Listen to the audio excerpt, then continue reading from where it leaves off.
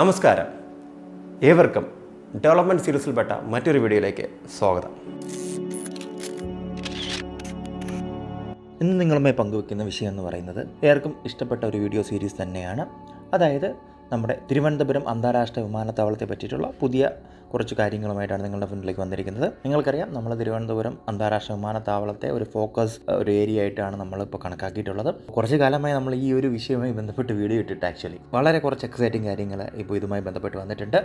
അപ്പോൾ നമുക്ക് വീഡിയോയിലേക്ക് കടക്കാം. തിരുവനന്തപുരം അന്താരാഷ്ട്ര വിമാനത്താവളം. ഇനിയും ഞാൻ ഈ വിമാനത്താവളത്തിന്റെ ഇമ്പോർട്ടൻസ് എന്താണ് ഇതിന്റെ ആ ഒരു ഹിസ്റ്ററി എന്താണെന്നും പറഞ്ഞു തരേണ്ട ആവശ്യമില്ല. നമ്മുടെ മുൻ വീഡിയോകളിൽ പലതിലും അത് പറഞ്ഞു പോയിട്ടുമുണ്ട്. എന്നിരുന്നാലും ഒരു ചെറിയൊരു ആമുഖമായിട്ട് പറയാം. തിരുവനന്തപുരം അന്താരാഷ്ട്ര വിമാനത്താവളം കേരളത്തിലെ ആദ്യത്തെ അന്താരാഷ്ട്ര വിമാനത്താവളമാണ്. അതുപോലെ തന്നെ കേരളത്തിലെ ആദ്യത്തെ വിമാനത്താവളങ്ങളൊന്നുമാണ്. ആയിരത്തി തൊള്ളായിരത്തി മുപ്പത്തിരണ്ടിൽ വരുമ്പോഴത്തേക്കും ആദ്യത്തെ വിമാനത്താവളമാണ്. കൊല്ലത്തതിന് മുന്നേ ഒരു എയർ സ്ട്രിപ്പ് ഉണ്ടായിരുന്നു. അപ്പോൾ അതിനുശേഷം നമുക്ക് നമ്മുടെ ആ ഒരു വ്യോമയാന രംഗത്തുള്ള കുതിപ്പ്. പിന്നീട് നമുക്ക് നമ്മുടെ നാട്ടിൽ ഒത്തിരി എയർപോർട്ടുകൾ വന്നു. പക്ഷേ ഈ ഒരു എയർപോർട്ട് എപ്പോഴും ഒരു റൈഡ് തന്നെയായിട്ട് നിലകൊള്ളുന്നുമുണ്ട് കുറേ കാലം മുമ്പ് അല്ലെങ്കിൽ കുറച്ച് കാലത്തിന് മുൻപ് ഈ എയർപോർട്ടിൽ വളരെ വലിയൊരു ഇടിവൊക്കെ സംഭവിച്ചു. ഗ്രോത്ത് കുറച്ച് സ്റ്റാഗ്നന്റ് ആയി. പക്ഷേ ഇപ്പോൾ അത് ഉയർച്ചയുടെ വക്കിലാണ്. ഇപ്പോൾ ഏറ്റവും പുതിയ എക്സൈറ്റിംഗ് ആയിട്ടുള്ള കാര്യം എന്തെന്ന് പറഞ്ഞു കഴിഞ്ഞാൽ മെയ് മാസത്തെ ആ ഒരു പാസഞ്ചർ മൂവ്മെന്റ് നോക്കിക്കഴിഞ്ഞാൽ വളരെയധികം ഇമ്പ്രൂവ്മെന്റ് വന്നിട്ടുണ്ട്.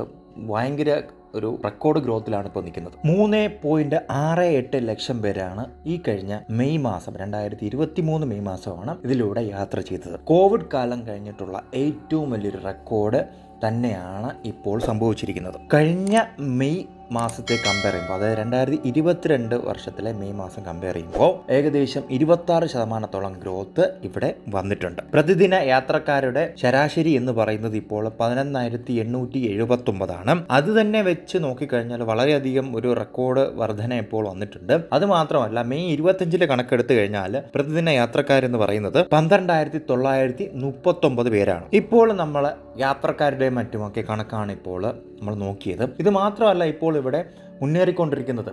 ഇപ്പോൾ പ്രതിദിന സർവീസുകളുടെ എണ്ണം തന്നെ എൺപതോളമായി. ഇനി അടുത്ത് മറ്റൊരു പ്രധാനപ്പെട്ട കണക്ക് നോക്കിക്കഴിഞ്ഞാൽ അതായത് എയർ ട്രാഫിക് മൂവ്മെന്റിന്റെ കണക്ക് നോക്കിക്കഴിഞ്ഞാൽ രണ്ടായിരത്തി മുന്നൂറ്റി മുപ്പത്തി മൂന്ന് എയർ ട്രാഫിക് മൂവ്മെന്റ് ആണ് ഈ കാലയളവിൽ ഇവിടെ നടന്നത്. ഇനി നമ്മുടെ പ്രധാനപ്പെട്ട മറ്റൊരു സംഗതിയാണ്. അതായത് നമ്മുടെ പാസഞ്ചർ മൂവ്മെന്റ് ഏത് തരത്തിലുള്ളതാണ്? ഡൊമസ്റ്റിക് ആണോ ഇന്റർനാഷണൽ ആണോ എന്നൊക്കെ നമുക്ക് നോക്കാം. അത് എത്രയാണെന്ന് നോക്കാം. നമ്മുടെ ഡൊമസ്റ്റിക് യാത്രക്കാരുടെ ആ ഒരു സംഖ്യ നോക്കുവാണെങ്കിൽ ഒന്നേ പോയിന്റ് മൂന്ന് ഒമ്പത് ലക്ഷം പേരാണ്. അതുപോലെ തന്നെ ഇന്റർനാഷണൽ ഫ്ലൈറ്റ്സ് യാത്ര ചെയ്ത യാത്രക്കാരുടെ എണ്ണം നോക്കുകയാണെങ്കിൽ അത് ഒന്നേ പോയിന്റ് ഏഴ് ലക്ഷമാണ്. അപ്പോൾ വളരെയധികം മാർക്കി ആയിട്ടുള്ള ഒരു ഇമ്പ്രൂവ്മെന്റ് ഇവിടെ നടക്കുന്നുണ്ട്. നമ്മൾ സ്കെയിൽ അപ്പ് തന്നെയാണ് ഇപ്പോൾ പൊയ്ക്കൊണ്ടിരിക്കുന്നത്. അപ്പോൾ വളരെ മികച്ചൊരു സംഗതിയാണ് ഇപ്പോൾ തിരുവനന്തപുരം അന്താരാഷ്ട്ര വിമാനത്താവളത്തിൽ അരങ്ങേറിക്കൊണ്ടിരിക്കുന്നത്. ഇനി നമുക്ക് ഇന്റർനാഷണൽ ആ ഫ്ലൈറ്റ്സിന്റെ എണ്ണമൊക്കെ എത്രയാണെന്ന് നോക്കാം. ഇന്റർനാഷണൽ ഫ്ലൈറ്റ്സ് നൂറ്റി പതിനേഴായിട്ട് ഇപ്പോൾ ഉയർന്നിട്ടുണ്ട്.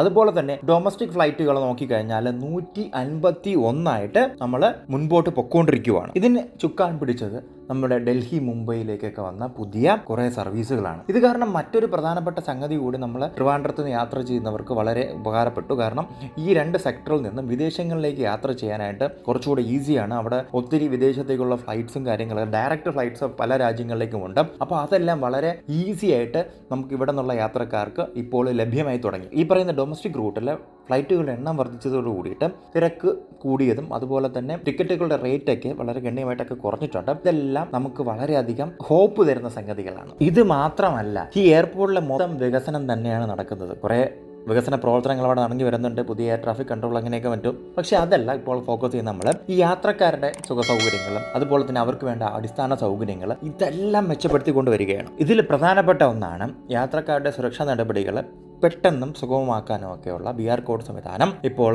ടെർമിനലിന്റെ എൻട്രി ഭാഗത്ത് തന്നെ ഏർപ്പെടുത്തിയിട്ടുണ്ട്. അത് വളരെയധികം യൂസ്ഫുൾ ആയിട്ടൊരു സംഗതി തന്നെയാണ്. നമ്മൾ അതുവഴി യാത്ര ചെയ്യുന്നവർക്ക് പലർക്കും മനസ്സിലായി കാണും തന്നെ. അതുമാത്രമല്ല കേരളത്തിലെ എയർപോർട്ടുകളിൽ തന്നെ ആദ്യമായിട്ട് ഇ ഗേറ്റ് സംവിധാനം നടപ്പാക്കിയത് നമ്മുടെ ഈ തിരുവനന്തപുരം എയർപോർട്ടിലാണ്. വളരെ മികച്ച രീതിയിലാണ് ഇപ്പോൾ കാര്യങ്ങൾ നല്ല രീതിയിലാണ് മുന്നോട്ട് കൊണ്ടുപോയിക്കൊണ്ടിരിക്കുന്നത്. വിദൂരമല്ല ഈ എയർപോർട്ട് മറ്റൊരു തലത്തിലേക്ക് ഉയരുന്ന കാര്യത്തിൽ എന്ന കാര്യത്തിൽ യാതൊരു സംശയവുമില്ല. വളരെ നല്ല ഇമ്പ്രൂവ്മെന്റ്സ് ഇവിടെ നടക്കുന്നുണ്ട്. നമ്മുടെ എയർപോർട്ട് സ്റ്റഡി ഗ്രോത്ത് ആണ് ഇപ്പോൾ മെയിന്റെയിൻ ചെയ്തുകൊണ്ടിരിക്കുന്നത്. അപ്പോൾ വളരെ സന്തോഷത്തോടു കൂടിയിട്ട് ഇന്നത്തേക്ക് ഞാൻ ഷിബു സലിയ എന്നോടൊപ്പം പ്രണസ് രാജ്. ഇവിടെ വാങ്ങുന്നു. നന്ദി നമസ്കാരം. Keep watching Chris Kerala